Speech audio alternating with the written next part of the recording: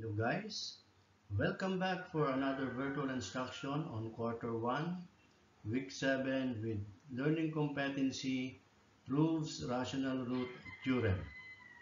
Our topic for today is we have the rational root theorem. This is Mr. Frederick M. Alvarez from Cabarwan National High School.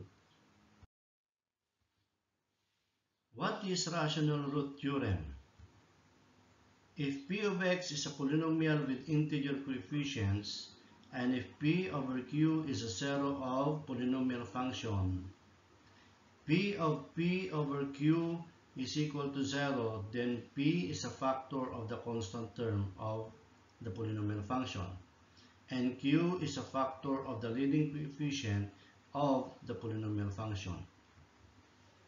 Here are the steps in finding the rational roots of a polynomial. First, arrange the polynomial in descending order.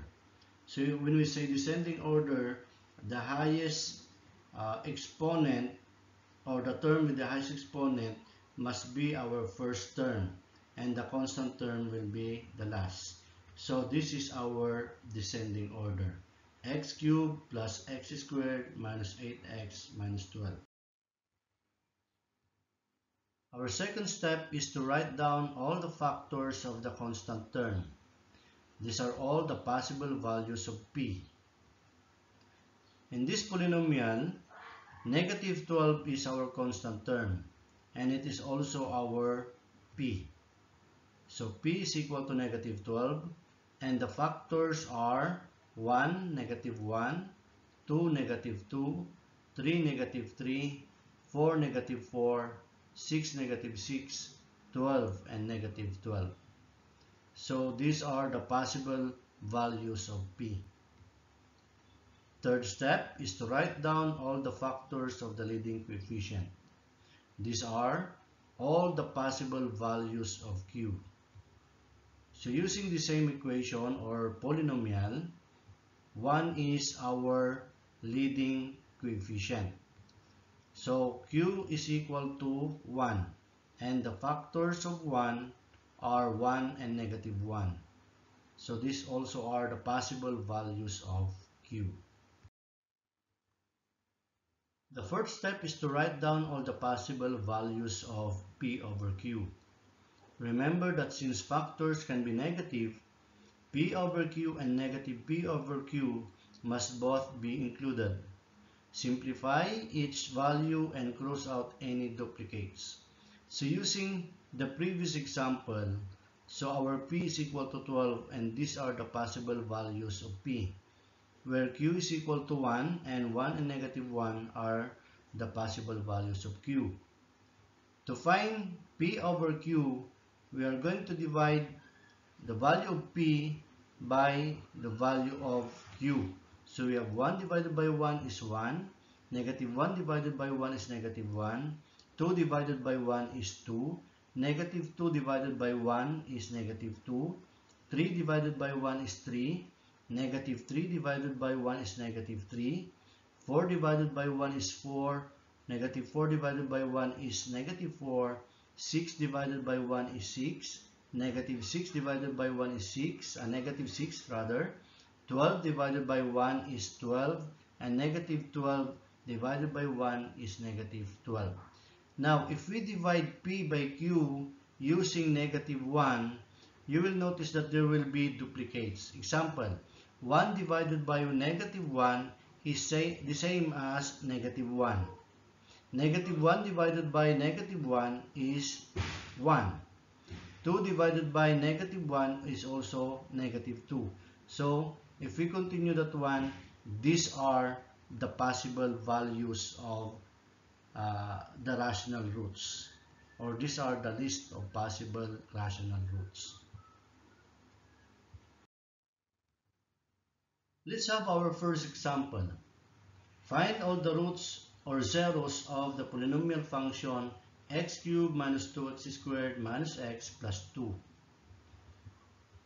Where 2 here is our P and understood we have one here and that is our Q.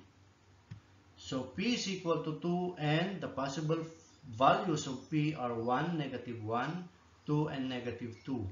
And our q is equal to 1 and the values are 1 and negative 1. To find p over q, we just divide the value of p by the value of q. So we have 1 divided by 1, 1 divi uh, negative 1 divided by 1, 2 divided by 1, negative 2 divided by 1, 1 divided by negative 1, negative 1 divided by negative 1, 2 divided by negative 1, and negative 2 divided by negative 1. Then we simplify. So we have 1 divided by 1 is 1. So we have 1, negative 1 divided by 1 is negative 1. 2 divided by 1 is 2.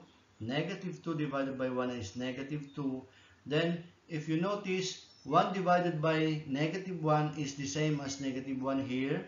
1 negative 1 divided by negative 1 is positive 1. 2 divided by negative 1 is also negative 2. So we have negative 2 divided by negative 1 is positive 2. So we only have four possible rational roots or zeros. Let's proceed. So let us use the polynomial function and we have to equate it with 0. So if we use positive 1 as our first value or possible rational root, so the result will be equal to 0. If we use negative or positive 2, then it is also equal to 0. And then if we use negative 1, substitute it to our function and the result is also 0. While if we use negative 2, it is equal to 4. It means, therefore, that the rational roots or zeros of that polynomial function are 1, negative 1, and 2. Let's now have our example number 2. Find all the roots or zeros of the polynomial function 2x cubed minus x squared minus 5x minus 2, where p is equal to negative 2 and the possible values for p are 1, negative 1, 2, and negative 2. And for our q, which is equal to 2, the possible values are 1, negative 1, 2, and negative 2. For our p over q, so we have these possible rational roots or zeros by dividing p, the values of p by the values of q. To find the rational roots or zeros, the value of the function must be equal to 0. Let's now have our solution by substituting the possible values of rational roots or zeros to our function. Now, you notice that 2, negative 1, and negative 1 half are all equal to 0.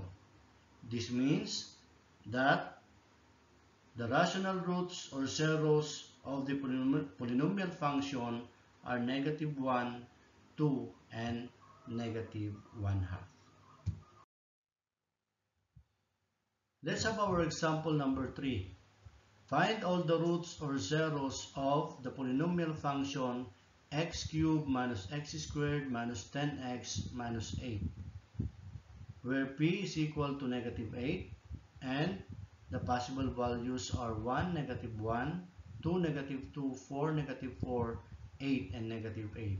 While for q, which is equal to 1, the possible values are 1 and negative 1. So for P over Q, we have 1, negative 1, 2, negative 2, 4, negative 4, 8, and negative 8 are the possible rational roots or zeros. Now, before we continue, uh, to find the number of rational roots, we refer to the highest exponent of the polynomial.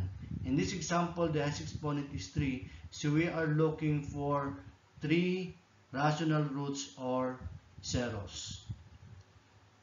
I will give you another way of finding the roots or zeros of a function and that is by synthetic division. the first thing that we are going to do is to find one root or zero of the function. Let's try positive 1. And then by using synthetic division, you will notice that the remainder is negative 18. Therefore, p of 1 is uh, equal to negative 18 and 1 is not a root or 0 of the function. How about if we try, uh, let's say, negative 1. Let's try negative 1. So by negative 1 as our divisor, the remainder will be equal to 0. So since p of negative 1 is equal to 0, negative 1 is a root or 0 of the function. Now, we have 1, negative 2, and negative 8 as the numerical coefficients of our uh, quotient. Therefore, the quotient is x squared minus 2x minus 8. And then if we factor that trinomial, it is equal to quantity x minus 4 and x plus 2.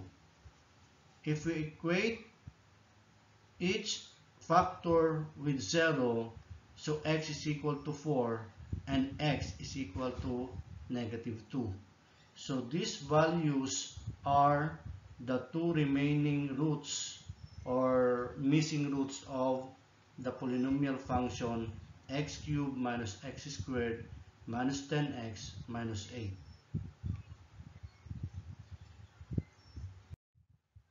Alright guys, thank you and stay tuned for the next virtual instruction.